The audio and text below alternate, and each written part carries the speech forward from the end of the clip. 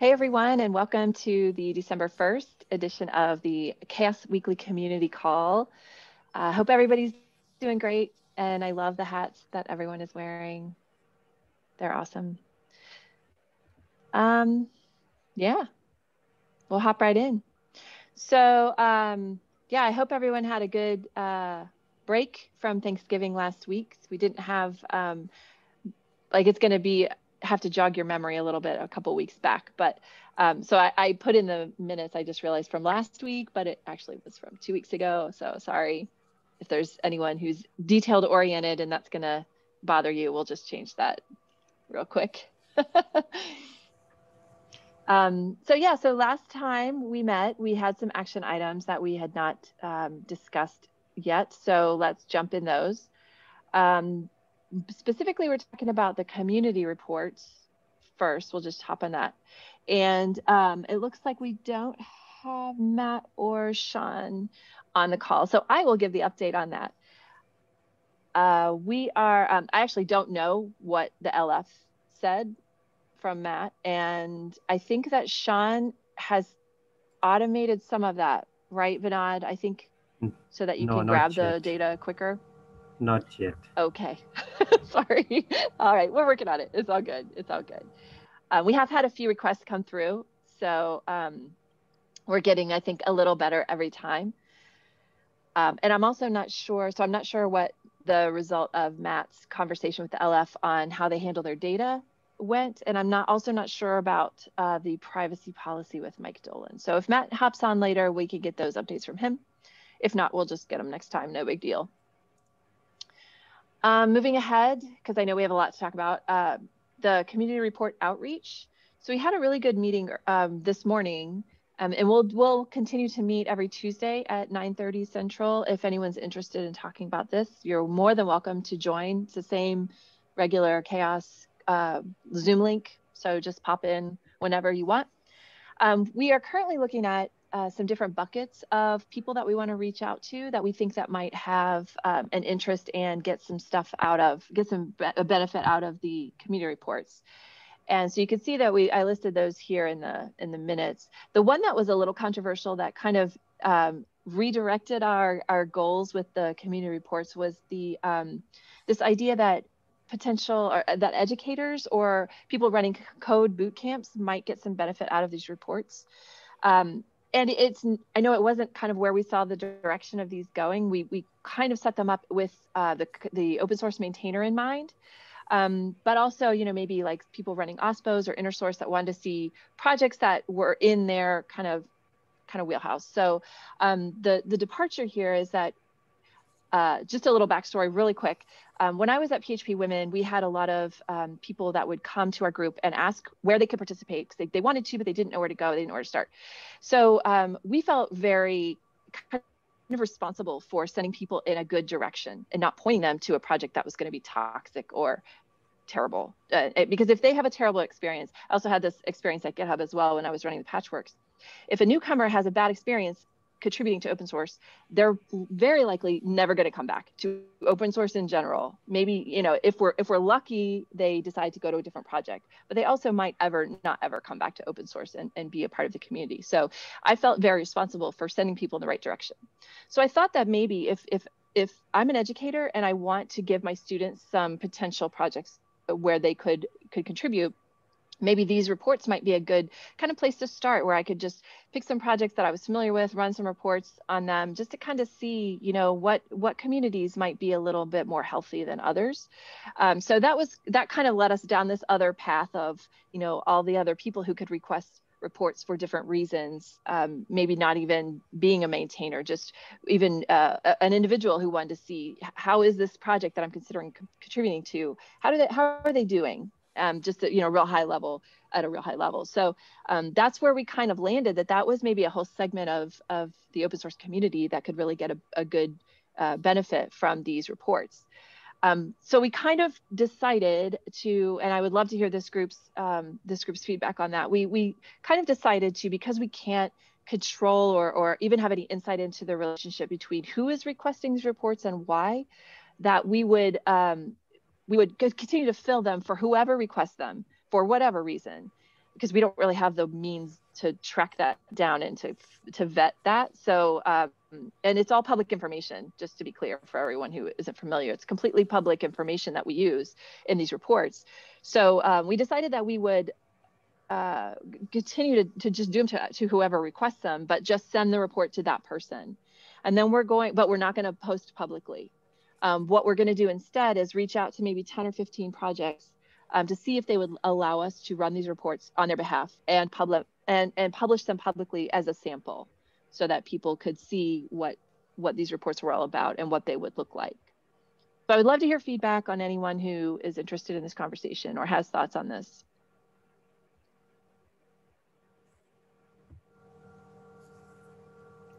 I appreciate the idea of adapting towards who needs it, right? Like we go about something with a, a given user in mind, but if we can be of benefit to someone else and it benefits us to use the system that way, then let's do it.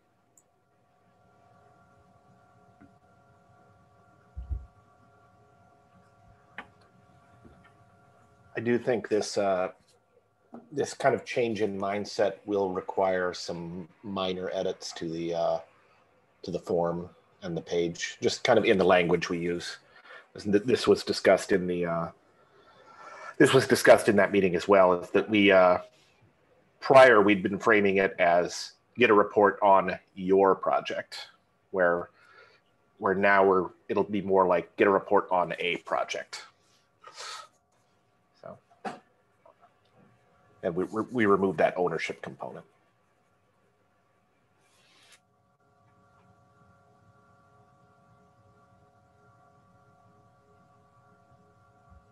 I was also thinking, Elizabeth, about your comment that we don't really have a lot of insight into the, the actual use case. And now that if we expand to different types of individuals, that they might be interested in, in slightly different piece of information or how they use it, it will be slightly different. I'm just wondering, trying to look at the form again uh, in real time to see if it is there's any place where we could capture that, even if it's very like just like what how do you intend to use this? Or like what what do you want to learn from this? Or something as simple as that um, would just shed a little bit of light on how people want to use this information that again like depending on what who they are and if the personas are changing that could give us a little bit more insight into it.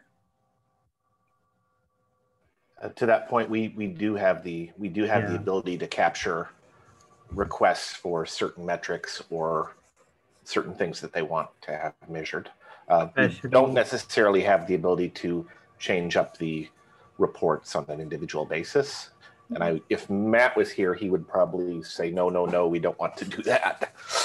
Uh, yeah, I wouldn't, I wouldn't, say change the report because I think that that would cause a lot of headache. Just the the intended use of the report, or like so have, have commentary on that. We have this question: Why do you want a community health report? So maybe they can give the reasoning, like why they want yeah. they want to like that question. I think might cover. Maybe we can tweak a wording a little bit to capture that aspect, but we have that question in the form.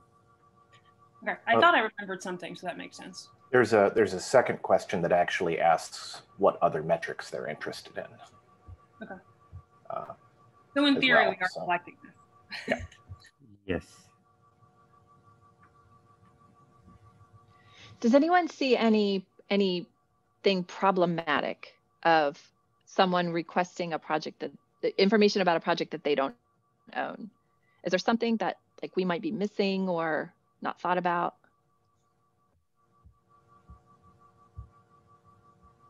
I don't see a problem with that because all the information that we are providing with the report is aggregated. So it's not about individual people, it's not about individual um, behaviors or anything, and it's aggregated over a one year time frame. Um, I don't see any issues. So one of, oh, oh sorry, go for it, Kevin. Jinx, go for it, Kevin. Oh, I was just going to say one of the one of the issues that was brought up in that community reports meeting was that a project competitor could pull that data and maybe use it to frame that project in a uh, poor light or provide comparison between their projects, and that might not be uh, that might not be something that uh, the project would be happy about. Yeah, I mean that that was actually this I I had a similar concern. I mean, although all the information is public, like why get in between that, right? I mean, do the job on behalf of a like a competing project or the two projects who don't get along with with each other. And there's a potential for for the CHAOSS project to i mean why why get in, involved in the fight potentially? Um I, have got an idea for a solution to this yeah. which would just be you um you ask the you get consent from the project that they're asking for information about just say if some if somebody's like to get would like to use this tool to get more information about your project is that okay um, other than that, kinda, we, we don't want to provide that tool otherwise. Yeah. I mean, that's kind of dicey too. Like there's some random person that says, can you run a report on this project ABC? And we don't know who that person is. Like, does he, does he or she belong to that project or is just snooping around because they're involved in a competing project, right? So there's, you know, no way to like really enforce it. Um, I mean, this is like, I don't want to start like a whole big can of worms, but I think, you know, like I would personally not run the report on somebody's behalf. Just give them how to just give them instructions on how to do it. Like here's where the tools are. Here's a white paper on on how you can, you know, how you can do metrics for whatever community you're interested in. And then we're done with that. Like here's here's a white paper and best practices on how to do it. Like not run the report on somebody's behalf. I think that just I think we're just taking a lot more on than than we need to. But the yeah. downside of that is like we don't know who is like using that potentially. But um, so I mean that's I obviously I haven't been involved in this this discussion in, in a separate meetings, but that's sort of my concern. I think it was more from a marketing perspective also like to have the, what CHAOSS is doing to reaching out more audiences.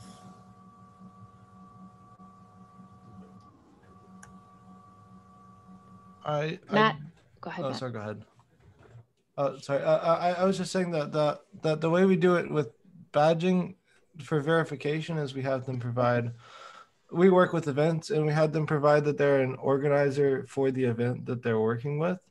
Uh, I think having like all we ask for is a link, and if it if, if it shows them as an organizer for the event, then that I, I don't know what you want to do with that, but I I think Ray's right, um, and I. I, I see that like it, it should be somebody that's got some kind of uh, maintainer role in the in the project if they if they're going to ask for a report. Matt Broberg, were you going to say something? I was thinking along the lines of Kevin that it could be used nefariously. I was mostly thinking as like, you know, free labor to do due diligence on startups that could that are open source based or um, yeah, or just kind of a go fetch this rock type task for us for somebody who's like, oh well, this takes no effort and it will take a bunch of effort for other people, so I might as well do it. So yeah, being a little particular about how we filter um, so that we don't end up on menial tasks and or adding a throttle to how many we're willing to do. Um, be pretty choosy about it. I, I trust our judgment in this group. Like the request will come in and we'll be like, oh, that doesn't feel right. We won't do that. Um, so I, I, think we'll end up getting to where Ray is right now, where it's just like this seems uh, like something we're putting ourselves in the middle of. I love that vision though of saying like our goal is to build a system that is self-service. Um, but I think we're all acknowledging that we don't totally know what that looks like. So we have to be in the process to experience the pain of doing it a few times. And, and I think we'll quickly build something external. And maybe just to comment on that one thing, I think I the anxiety of all open source is a little bit that people can use it for nefarious things. Like I don't think we have to worry ourselves with with that, we're accepting that risk by being open source project and community. Um, but yeah, maybe we won't make it so easy that we do it for them. Yeah.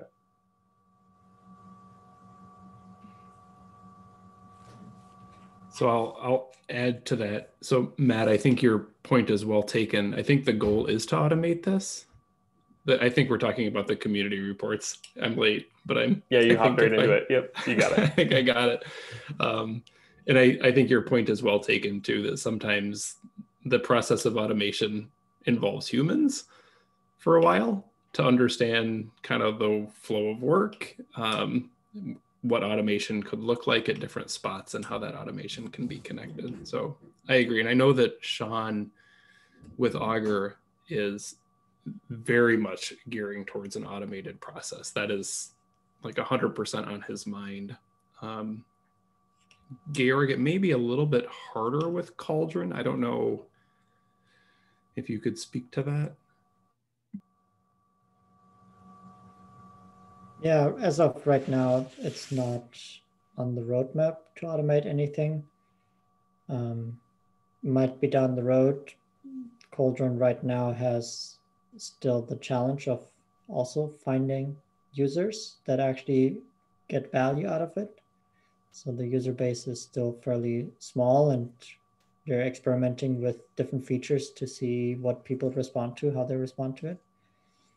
Um, integrating with community reports is currently not on that list. And until then, I will just copy paste the images.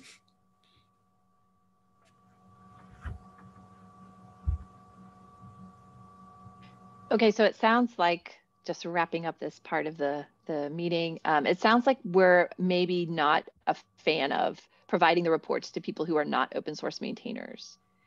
Um, everyone seems to be kind of in agreement with that, and I, I'm totally fine with that um, as well. So um, we will take that part out of the uh, outreach plan and just focus on open source maintainers. I guess OSPOs are a little gray area there, um, but they could, I- I mean, I guess in theory, they could reach out to the pro- individual projects and just say, hey, you know, we're curious about these, so about this data. So would you get that?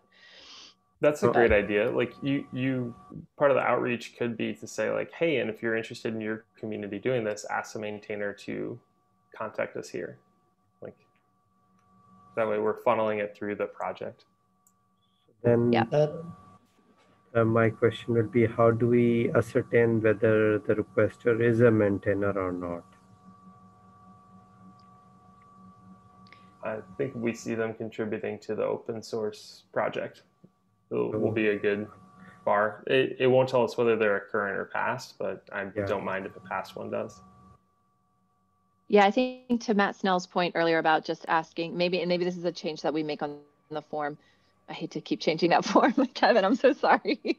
Kevin's like, stop changing it, God.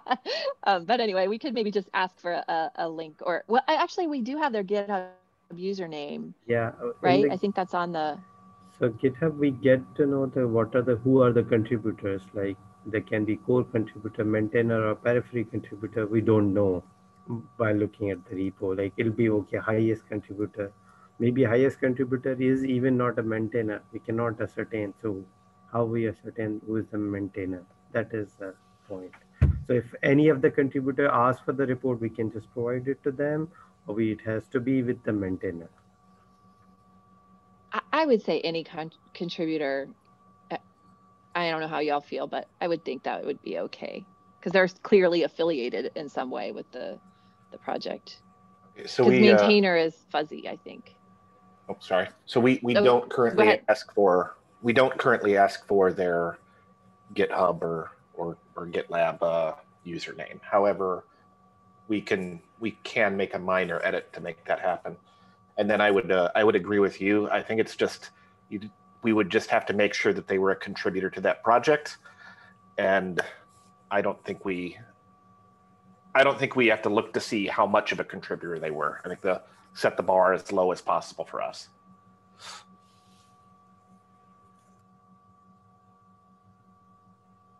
Okay, that makes sense. Thank you, everyone, for your feedback on that. It was super, super, super helpful. I really appreciate that. Um, okay, moving along. Is that okay to move along? Everyone's okay. Okay. So the, Um, the so the goal, I'm sorry, is- the oh. goal, was- I'm sorry, the goal was to just maintain it as maintainers, at least for the start, and just see how that goes. Is that right? Cool. Yeah, yeah. I think it's easier and as, as others said, it just eliminates or reduces the potential for conflict and us being in the middle of stuff, right which we don't okay, want to be cool. in the middle of stuff. cool. Uh, so the so the language on the form and on that page needs to change so that it's as a maintainer you can request these reports. Uh, and then we need to add a some sort of user ID uh, capture in the form.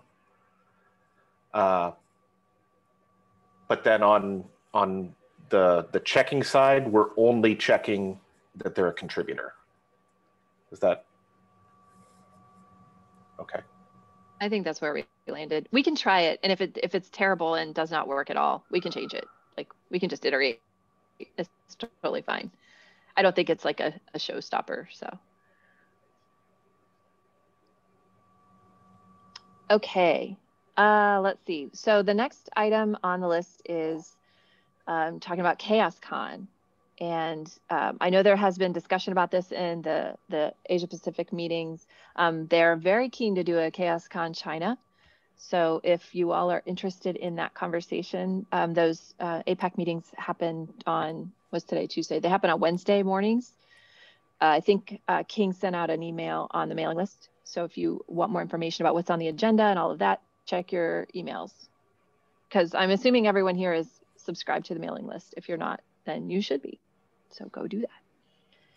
Um, and then uh, last time we had said TF for a deeper dive discussion after Thanksgiving, and I'm assuming that we were also talking about uh, just the the either North America or, or European CHAOSScon. I'm not sure how we wanted to talk about those things um, Matt G, I think you have some feels on that, I would assume, based on the email earlier today. Yes. Yeah. So CHAOSScon EU, right, is officially not happening in tw- soon. so in one month. it's a stunner, I know, for everybody. I'm sure you were all booked for that.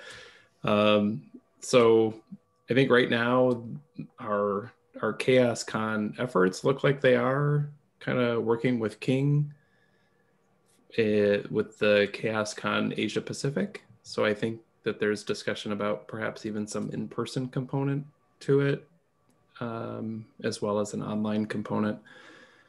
Um, in terms of North America for 2021, is there is Open Source Summit North America on the date books yet? Do you know? Does anybody know? Have it in my outreach list. I'm not sure that it is. The Open Source Summit North America is August 4 to 6 what in is? Vancouver. Oh, okay. So, I mean, to me, that's always the most sensible conference to align with. I don't know what people's thoughts are that has always worked well for us in the past. Um, they moved it. They moved it back to August. So. Sometimes it's October. It's back to Vancouver too. Didn't they? Didn't um, they move it into June this last year? Yeah, they they moved it to June to avoid conflicts with because uh, August wasn't a good time. That was a conversation I had with Linux Foundation events people, but obviously with the pandemic, that sort of went out the window. I, I mean, who knows? They might bring it back to June, um, but I think like this year, and next year is still going to be a little unusual. I think so. Well, unless anybody has like kind of an objection, does August? No, I, I, mean, I, given I think that sounds like a good plan. Like Right, unless things stay south, yeah. then we deal with it when we get there. But until then, we at least we're, mentally we're, we... we're assuming Canadians will let Americans into their country again. Right. Well, that's actually true too. So we can just people like Daniel Vancouver, might be Washington. able to travel. Yeah, people like Daniel go to Washington. might be able to travel, but we um, can say hello to each other across the borders. Like, hey. right. So I, I don't know if that addresses your question, Elizabeth. But It does, um, but I have a follow-up question based Okay. on previous year's experience. How far in advance do you start planning that? Like, is this something we would start planning like in January after holidays, or like now? So well, so I'm gonna look at Georg because yeah, he can answer that better. In the past, we started planning these about five months out. So we had one CHAOSScon, and took a few weeks off, and then started the next, planning the next one. Okay, so, So, maybe February. okay. That planning so is a slow, that is a slow burn though. Yeah. Yeah, I was going to say by now we'll probably be reviewing CFPs, right, Georg? Like, you know, the deadline would have been like around now, and the CFP selection committees would be getting together to, you know, notify speakers. Like, I think we tried to do that before the holidays and book, book travel, but uh, assuming like Okay. like a FOSDEM event was happening, like or pre FOSDEM event was happening in like early February, right? So. Yeah, for the FOSDEM event, we would Yeah. be reviewing the CFP right now. And then for the August event, we would do this in May, April, Mayish. The Linux Okay, Foundation so- hasn't okay. published their CFP yet, and we try to align it with the CFP of the main event.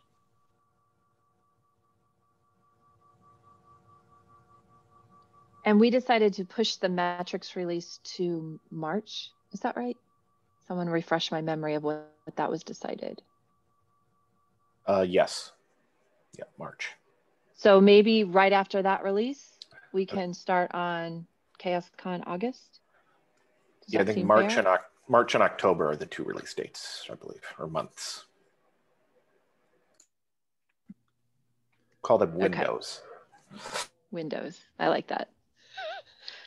Okay, so and, and I we will. may we may uh, already have a we, we may already have a keynote for CHAOSScon, perhaps looking at Nicole who brought this up in a prior meeting. So this this could be good. Okay, so Sorry, I was uh, on mute. Yep. go ahead. yes. Woohoo. You want to talk about it? I'm curious now too.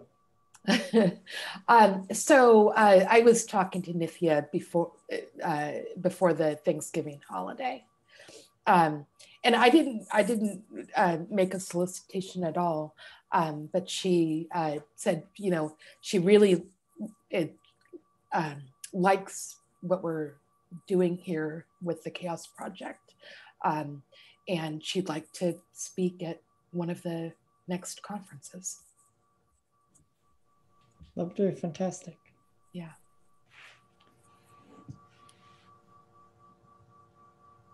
Okay, so what I will do is just put um, uh, reminders somewhere. Oh, bye, Matt. He already left.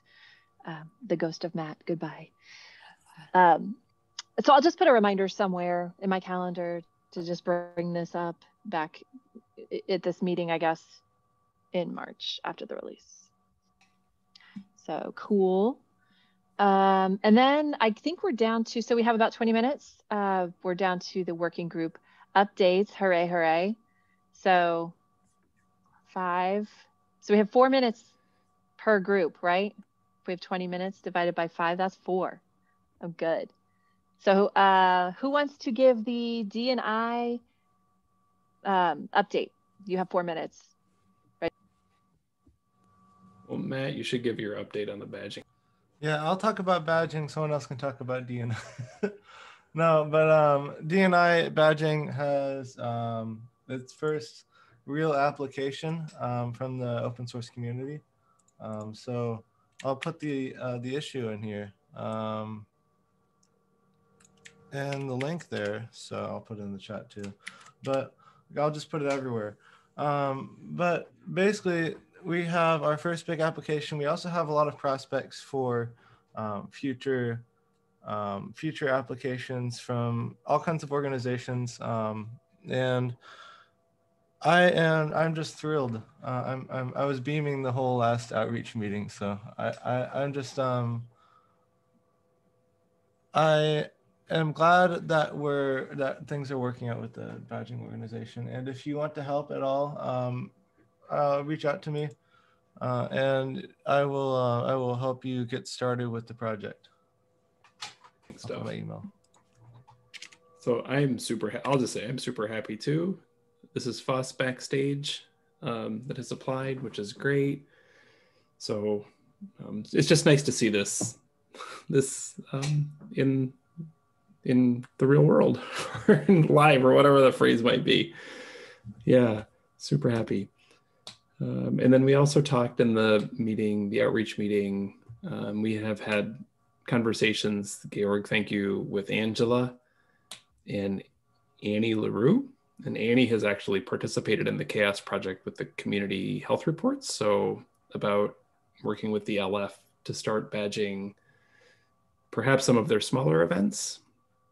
Um, Elizabeth knows the person, Rich, who is in charge of Apache events, or at least the a title associated with events at Apache, whatever that title might be. Um, and then Nicole has had some really great ideas with.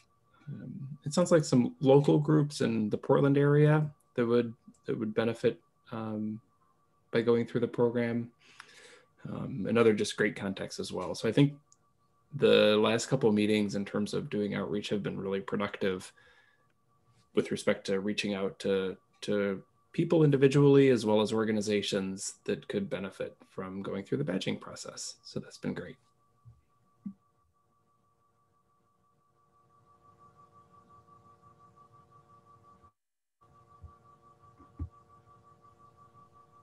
And then on the metrics side, we are advancing.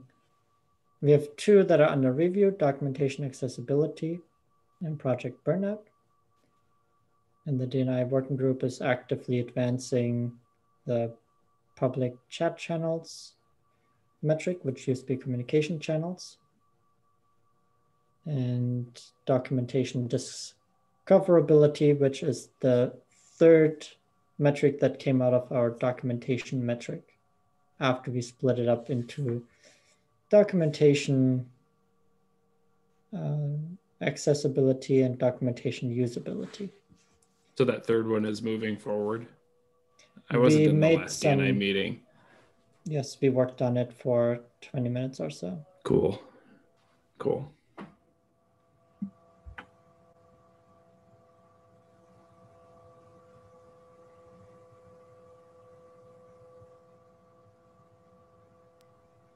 Any questions for anyone in the DNI, either Matt or Georg? Anyone? No? All right. and since Sean isn't here, um, I'll just give a quick update on evolution and Vinod, Kevin, y'all can jump in if I missed something. Um, we, uh, evolution completed the change across the board from reviews to change requests. So that uh, nomenclature is clarified now as change requests. And then I think the current metric that we're discussing is around branch lifecycle and strategies, which was actually a um, kind of a nudge or an idea from the Asia Pacific group. So uh, we have had some really good conversations about that, and it's still a work in progress right now. Basically, um, why branches exist and how long they exist, and what like if there's clear strategies around that for the project. So it's really interesting. If you're interested, you should come to Evolution and talk about that with us. What, what am I missing, Vinod and Kevin? Anything else on that? In Evolution? Oh, it's, it was so long ago. I forget. yeah, I know, right? That's why I'm asking you guys. Meeting. I know for all the updates, okay. I'm going back to just the old minutes and just reading them, right. which you could all do too. Like, I'm happy to spoon feed. It's totally fine. Uh, okay, let's move on to Common because I see there's we do have some other stuff to talk about after we do these updates. So, um, who wants to give the update do, on Common? I'll I will do the I'll read the minutes from Common. So I won't read all the minutes, but it's also advancing metrics. I think Vinod and um, Sean are kind of coming to some closure on some of the work that they're doing in uh, Common, which is uh, great to see. So, um, so that's really the update. It's it's just positively moving forward on on those metrics.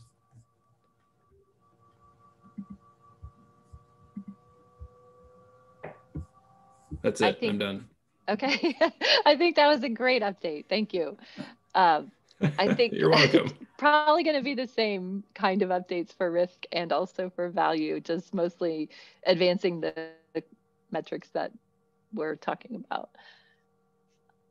So I'm just. Is I'll there, make one. Co- someone want to make the one. Risk? I, I don't know if it's a risk update. It's just I so just thinking about kind of CHAOSS as a whole, and I know that we've and people seem to get don't get mad at me if I'm going to say the word dependencies, but like I can't, I just can't shake how important I think this is. I, I really can't. I, I just think there's so there's going to be such a demand for understanding both upstream and downstream dependencies and the health in that network. I just I can't get beyond how important I think this is going to be. And again, you can all just kind of say, what, sure, whatever. Um, but at some point, I, I think the CHAOSS project has to not only think about metrics, which are advancing quite nicely around dependencies. Sophia, we had the, do you remember what that one that um, that was brought forward? The libyear? Yeah, libyear talking we talk a lot about so, libyear and potentially using it as an average versus a sum, but as a way to quantify the age of any individual version. But then there was obviously a lot of discussion around how version age isn't always a measure of maturity or quality. So trying to measure that, but also whether or not it would be a useful metric to employers. So I think we, we did make some progress on thinking about yeah. how these types of concepts could be applied. I think I know, no Matt probably feels this as well. It's still a very complicated topic. So I think the challenge for us has been trying to really narrow in on things that are both actionable and interesting, like are not just things that we can measure. And so those are the things we propose, but things that are actually also useful. Um, and given that the topic is so wide and complex, trying to figure out where the overlap between those two things has taken up, I think, maybe three or four risk meetings at this point, and we'll probably continue to take up a few more going forward. I, I agree. And I think so. The way that we have talked about, say, like DNI metrics is kind of bringing them forward in, say, the DNI badging program, or we even talk about, say, like evolution metrics, you know, and bringing those forward in the community health reports, because that's largely evolution metrics. Um, something around dependencies. I can't help. This is part of it. To Sophia's point, that we have the metrics, say like libyear, we think through what that metric means. But how do we bring libyear together with I don't know whatever other dependency metrics we have to to create kind of a roadmap for better understanding. Not just here are the metrics, but how can you bring you know say three metrics around dependency together to to really provide a um, at least a little bit more transparency on your upstream dependencies. I, something along those lines, the actionability around those. Yeah, and I think we've, we've also spent a lot of time just thinking about the feasibility and tooling that's currently available. Um, just to know that some things are easier to collect and other things, it's like this would be awesome if we could measure it, but there isn't currently a tool that's available as an open source project or something similar that could be used easily. So if you like dependencies, come to Risk. I think that's where we're talking about them a lot right now. Interesting so I, topic. I, when does the the Risk uh, working group meet again, please? When do you guys meet? Thursdays at 4 p.m. Central. Um, it is we're meeting this week, so it's oh, every okay. other week. Oh, interesting topic. Yeah. So I, I haven't been to a risk meeting since the time change because the, the four o'clock time is kind of weird for me. Uh, but I, I, I, did want to say that uh, dependencies are being talked about in the evolution working group as well. Uh, there are uh, seven metrics around dependencies that we've kind of proposed and are talking about. Uh, so that's an, another good place to talk about dependencies.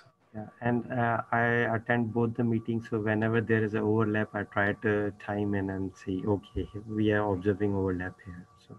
So that is kind of. But why can't we uh, come together like whole sessions and look from different perspective, so we don't have redundancy and uh, try to point uh, people on different kind of concepts that might be confusing. Two Um, groups should, yeah. Yeah, I was Right. going to quickly say we we decided up front to let individual working groups talk about this topic because it is so large, and we didn't want to combine everyone with the thought that it might might derail the broader conversations because it's such a big topic. But I think the hope is that we will come together again at a certain point. I think it might be nice if now that we're kind of the risk group is closing in on a couple of metrics and ideas for metrics. So I think once we have that a bit more formalized, I'd love to bring that to the other groups that are also discussing it. And then potentially we have an individual powwow around dependency metrics and see where we have overlap, see how other teams have approached it differently. Because I, I think we, we wanted to see how this conversation could progress with different focus areas um, to see if just like I don't know, just in ideation, the more people that have space to talk about it, the more ideas that will surface versus forcing everyone in one room and then only five ideas come out because there's too many voices happening. So I think that right now it is a bit chaotic, but at a certain point we should be coming together. So I think Matt, I'm, I'm guessing that maybe we need one or two more conversations in risk, but then maybe in the new year we should we should try to set something up. Yeah, I like that. That'd be good. I think there, uh, I think there's some, uh, there's different perspectives in how we're looking at dependencies too. The, the use cases are different for risk versus evolution. And it, it might be as simple as saying, you know, risk is more focused on downstream and evolution is more focused on upstream or something like that. Uh, but the, the perspective is different. Uh, so I, I think it's very appropriate for the two different working groups to be dealing with this topic. So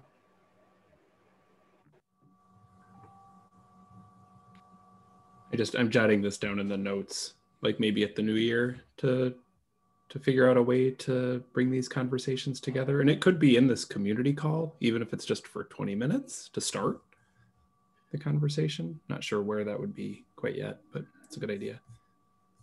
Yeah, I think it will be engaging because it will bring different people to, you know, uh, un- understand what is happening and what has been happening in the background. And it can also draw them now to the working group just to follow up the conversation. And it, it kind of sounds like Matt G, your like long-term vision is to maybe there's enough meat here to bring it into its own program or initiative some way. That's what it kind of I feel like. Yeah. Okay. Yes. Yep. I think that makes total sense. And I think there's a I just hear about it all the time. Like a lot of people care about this like deeply. Um, and providing guidance, I think, would be very, very welcome. Not only from here are the metrics, but here's ways that you can bring these together, like the actual methods, processes, and methods that you can use to bring these together to provide meaning. Cool. So if we were doing like our goals or whatever for 2021, maybe that would be on that list. So cool. I like it. Um, okay, value. We'll just talk about that. We got three more minutes. Uh, Matt's not here. Matt B. Um, looks like they also did the change request update. Social listening is was social currency metric system. It's now social list social social listening. I can talk. Um, and then yes, we are also having some university OSPO metrics conversations in that group as well. So if you're interested in any of those things, you should come to value.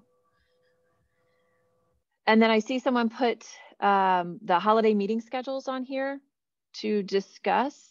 Uh, I, I'm assuming we want to maybe decide whether or not to cancel or when to cancel or how we want to do it. So I'm not sure what y'all have done in the past.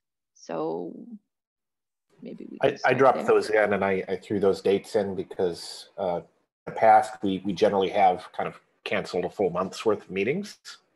Uh, and if we, uh, we're getting there pretty quickly. Uh, as you can see, that if we uh, we have maybe one week to two weeks left before we would start canceling meetings for the holidays. So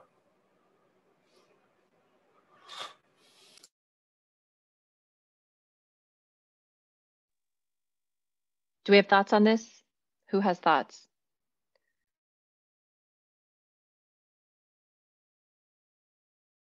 I'm putting my thoughts in the notes. I'm okay with the 13th through 18th and 4th to 8th, but I'd, I'd like my um 21st to 1st to myself.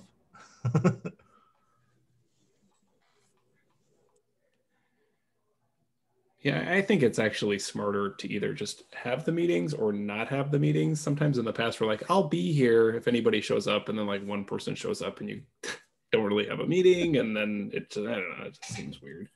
So, are you saying you don't like hanging out with us, Matt? Thanks a lot. Jeez. That's yeah, it's, that was totally it. okay, so we're we're pretty, I would say, unanimous to cancel the 21st through the 25th. That seems like pretty much a no brainer. And as well, the next week would be the 28th through the 1st, kind of a no brainer. Um, so it's those like fringe yeah. bookend weeks. Um, yeah. That if we're okay. I would say have them. Yeah. I am. And if, you know, obviously, if you personally are going to be on vacation or whatever, you don't have to come. You're not obligated. We'd love to see you. Unlike Matt, we would love to see you, but no, I'm just teasing, of course. So, okay, cool. 1249 my time, 1149 other people's time, but one minute left. What's left? What do we got?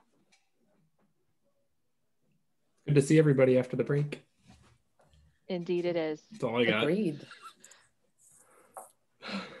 I missed all your faces. I like all your faces. They make me happy. So, all right. Well, I will see you all later on at whatever next meeting or on the mailing list, whatever we, we decide. So um, have a great day. See everybody later. All right. You too. Bye. Okay, bye. Everybody. Bye-bye. Right.